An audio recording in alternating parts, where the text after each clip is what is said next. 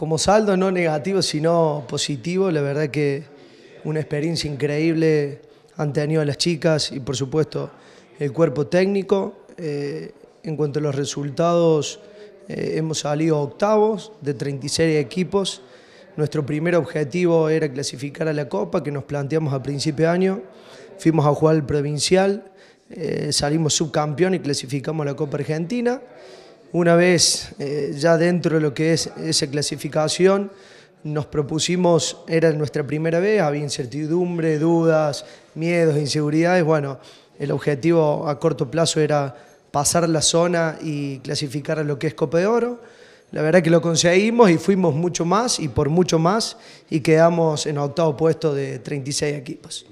Para ser la primera vez, un resultado dentro de la tabla general positivo.